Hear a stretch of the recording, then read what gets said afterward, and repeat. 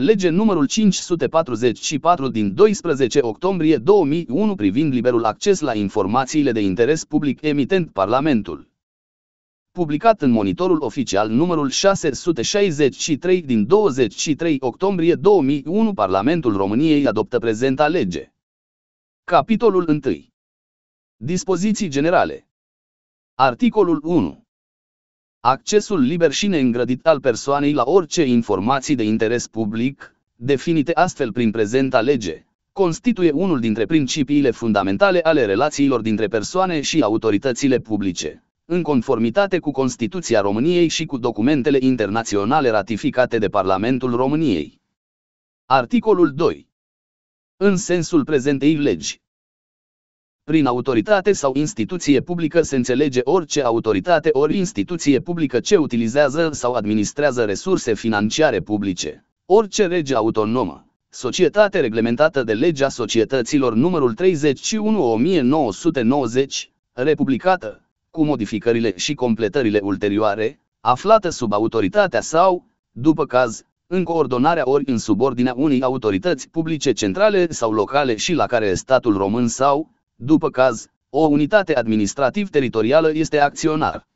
Unic ori majoritar, precum și orice operator sau operator regional, astfel cum aceștia sunt definiți în legea serviciilor comunitare de utilități publice numărul 51-2006,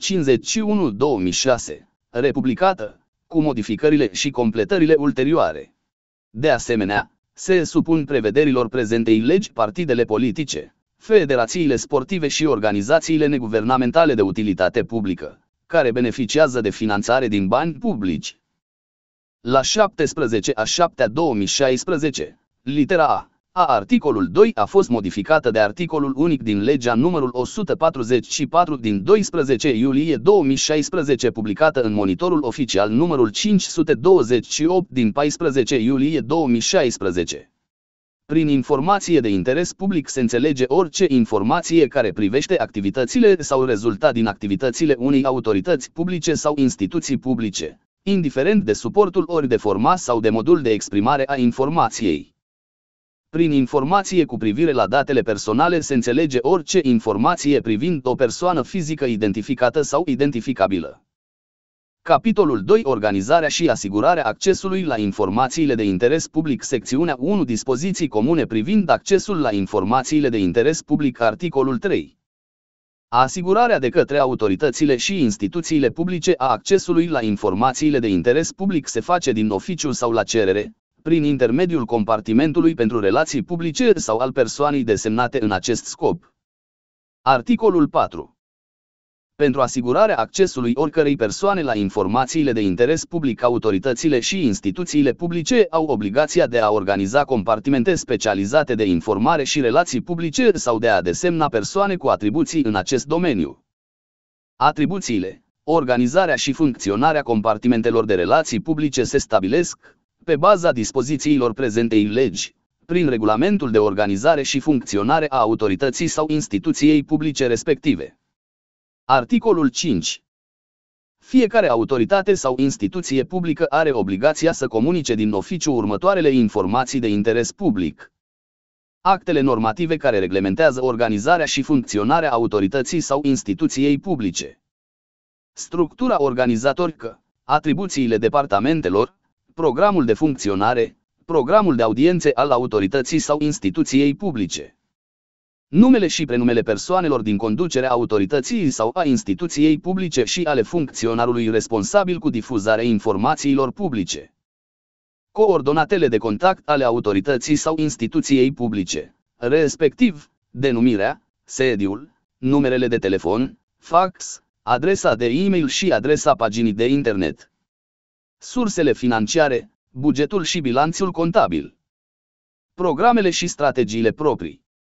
Lista cuprinzând documentele de interes public. Lista cuprinzând categoriile de documente produse și sau gestionate, potrivit legii.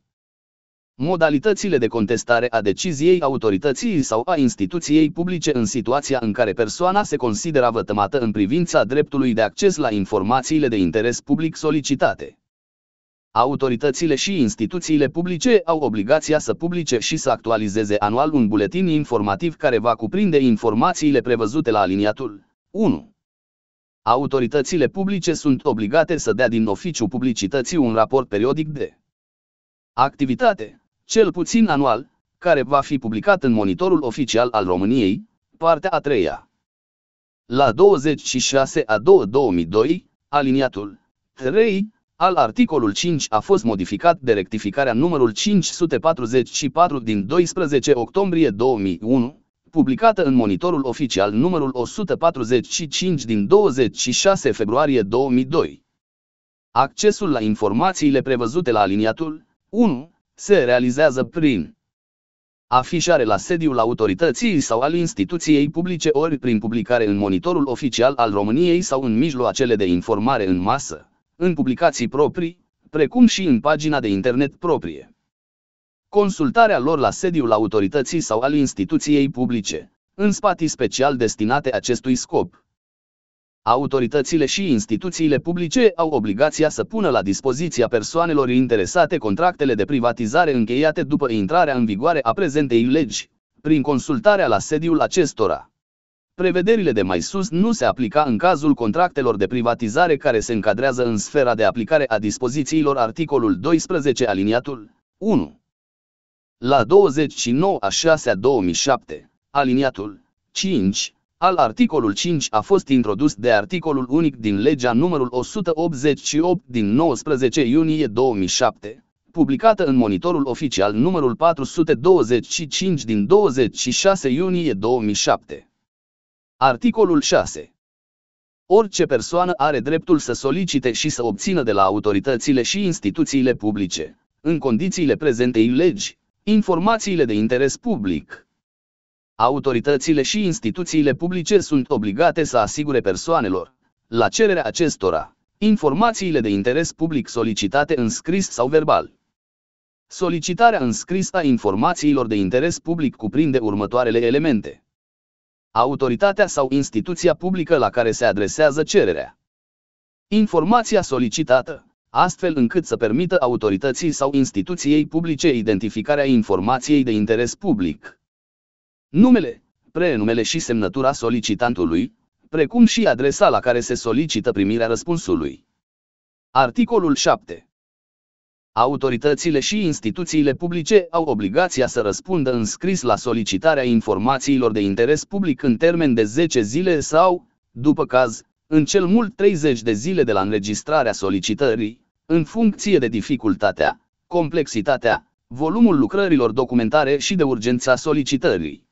În cazul în care durata necesară pentru identificarea și difuzarea informației solicitate depășește 10 zile, Răspunsul va fi comunicat solicitantului în maximum 30 de zile, cu condiția înștiințării acestuia înscris despre acest fapt în termen de 10 zile. Refuzul comunicării informațiilor solicitate se motivează și se comunica în termen de 5 zile de la primirea petițiilor. Solicitarea și obținerea informațiilor de interes public se pot realiza, dacă sunt întrunite condițiile tehnice necesare, și în format electronic. Articolul 8 pentru informațiile solicitate verbal funcționării din cadrul compartimentelor de informare și relații publice au obligația să precizeze condițiile și formele în care are loc accesul la informațiile de interes public și pot furniza pe loc informațiile solicitate. În cazul în care informațiile solicitate nu sunt disponibile pe loc, persoana este îndrumată să solicite în scris informația de interes public, urmând ca cererea să îi fie rezolvată în termenele prevăzute la articolul 7.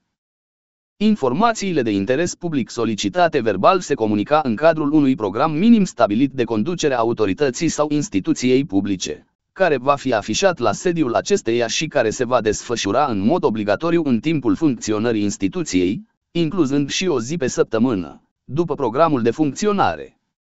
Activitățile de registratură privind petițiile nu se pot include în acest program și se desfășoară separat. Informațiile de interes public solicitate verbal de către mijloacele de informare în masă vor fi comunicate, de regulă, imediat sau în cel mult 24 de ore. Articolul 9. În cazul în care solicitarea de informații implică realizarea de copii de pe documentele deținute de autoritatea sau instituția publică, costul serviciilor de copiere este suportat de solicitant, în condițiile legii. Dacă în urma informațiilor primite petentul solicită informații noi privind documentele aflate în posesia autorității sau a instituției publice, această solicitare va fi tratată ca o nouă petiție, răspunsul fiind trimis în termenele prevăzute la articolul 7 și 8. Articolul 10.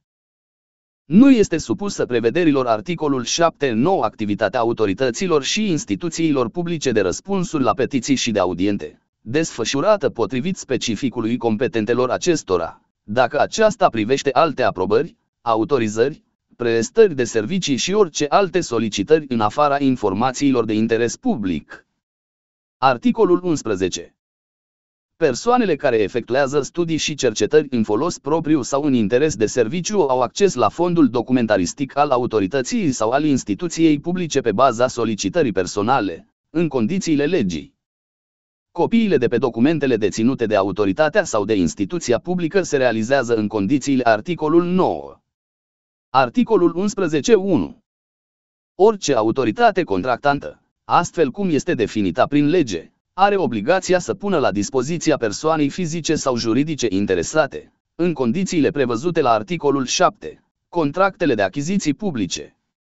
La 16 a 10 a 2006, Articolul 11.1 a fost introdus de punctul 1 al articolul unic din legea numărul 380 din 5 octombrie 2006, publicată în monitorul oficial numărul 846 din 13 octombrie 2006. Articolul 12. Se exceptează de la accesul liber al cetățenilor, prevăzut la articolul 1 și, respectiv, la articolul 11.1, următoarele informații. La 16 a 10 a 2006, partea introductivă a aliniatul 1 al articolul 12 a fost modificată de punctul 2 al articolul unic din legea numărul 380 din 5 octombrie 2006, publicată în monitorul oficial numărul 846 din 13 octombrie 2006. Informațiile din domeniul apărării naționale, siguranței și ordinii publice, dacă fac parte din categoriile informațiilor clasificate, potrivit legii. Informațiile privind deliberările autorităților, precum și cele care privesc interesele economice și politice ale României, dacă fac parte din categoria informațiilor clasificate, potrivit legii.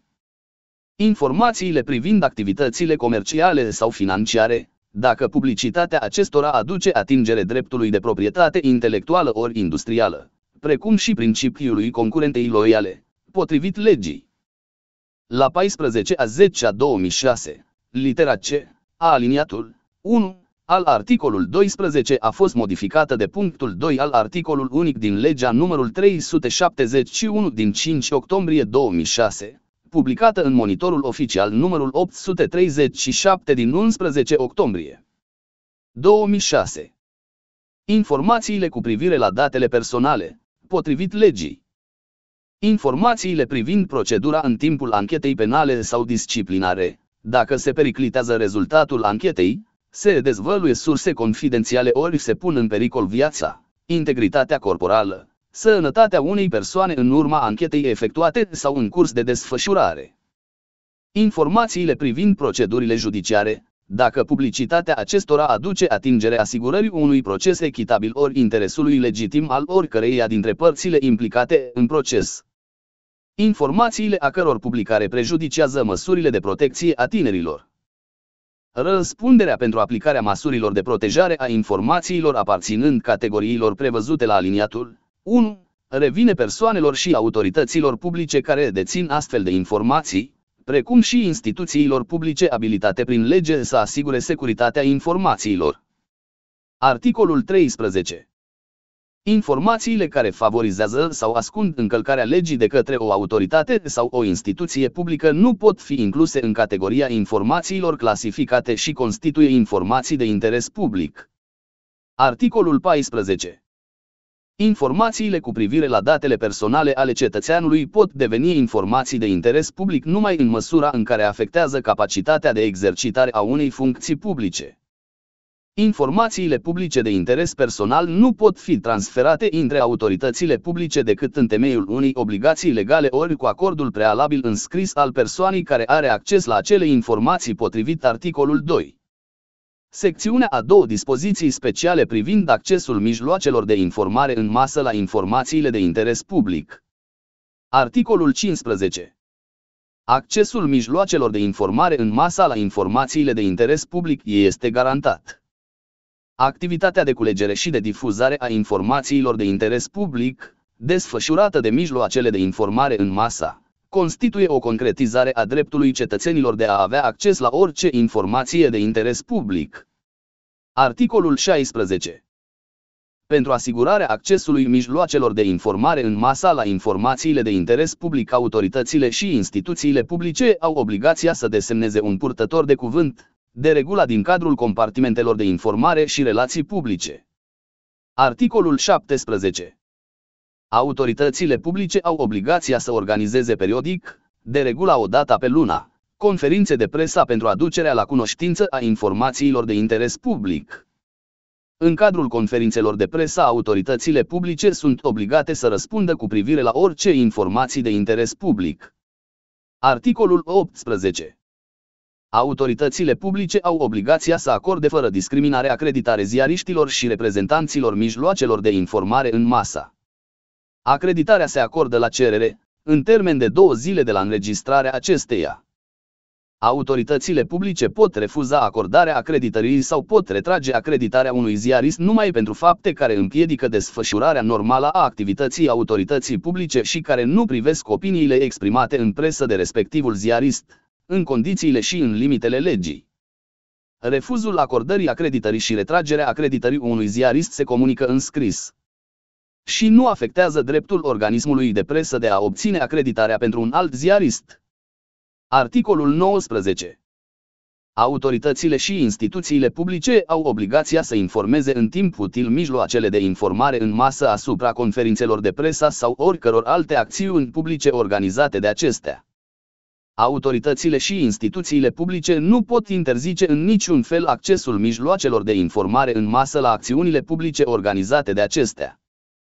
Autoritățile publice care sunt obligate prin legea proprie de organizare și funcționare să desfășoare activități specifice în prezenta publicului sunt obligate să permită accesul presei la acele activități, în difuzarea materialelor obținute de ziariști urmând să se țină seama doar de deontologia profesională. Articolul 20 Mijloacele de informare în masa nu au obligația să publice informațiile furnizate de autoritățile sau de instituțiile publice. Capitolul 3 Sancțiuni Articolul 21 Refuzul explicit sau tacit al angajatului desemnat al unei autorități ori instituții publice pentru aplicarea prevederilor prezentei legi constituie abatere și atrage răspunderea disciplinară a celui vinovat. Împotriva refuzului prevăzut la aliniatul 1, se poate depune reclamație la conducătorul autorității sau al instituției publice respective în termen de 30 de zile de la luarea la cunoștință de către persoana lezată. Dacă după cercetarea administrativă reclamația se dovedește întemeiată, răspunsul se transmite persoanei lezate în termen de 15 zile de la depunerea reclamației și va conține atât informațiile de interes public solicitate inițial, cât și menționarea sancțiunilor disciplinare luate împotriva celui vinovat. Articolul 22 În cazul în care o persoană se consideră vătămată în drepturile sale, prevăzute în prezenta lege, aceasta poate face plângere la secția de contencios administrativ a tribunalului în a cărei raza teritorială domiciliază sau în a cărei raza teritorială se afla sediul autorității ori al instituției publice. Plângerea se face în termen de 30 de zile de la data expirării termenului prevăzut la articolul 7. Instanța poate obliga autoritatea sau instituția publică să furnizeze informațiile de interes public solicitate și să plătească daune morale și sau patrimoniale hotărârea tribunalului este supusă recursului. Decizia curții de apel este definitivă și irrevocabilă. Atât plângerea, cât și recursul se judecă în instanță, în procedură de urgență, și sunt scutite de taxă de timbru.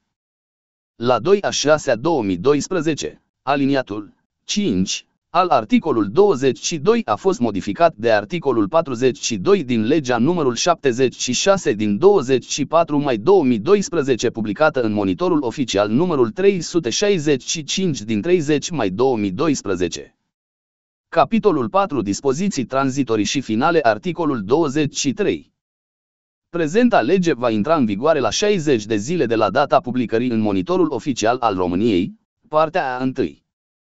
În termen de 60 de zile de la data publicării prezentei legi în monitorul oficial al României, partea a 1, Guvernul va elabora, la inițiativa Ministerului Informațiilor Publice, normele metodologice de aplicare a acesteia. Articolul 24 în termen de 60 de zile de la data intrării în vigoare a prezentei legi Ministerul Informațiilor Publice, Ministerul Comunicațiilor și Tehnologiei Informației și Ministerul Finanțelor Publice vor înainta Guvernului propuneri privind măsurile necesare pentru ca informațiile de interes public să devină disponibile în mod progresiv prin intermediul unor baze de date informatizate accesibile publicului la nivel național. Măsurile prevăzute la aliniatul 1 vor privi inclusiv dotarea autorităților și instituțiilor publice cu echipamentele de tehnica de calcul adecvate. Articolul 25 Pe data intrării în vigoare a prezentei legi se abroga orice prevederi contrare. Aceasta lege a fost adoptată de Senat în ședință din 13 septembrie 2001, cu respectarea prevederilor articolul 74 aliniatul 2 din Constituția României. P. Președintele Senatului, Paul Păcuraru. Această lege a fost adoptată de Camera Deputaților în ședință din 18 septembrie 2001, cu respectarea prevederilor articolul 74 aliniatul 2 din Constituția României. Președintele Camerei Deputaților Valer Dorneanu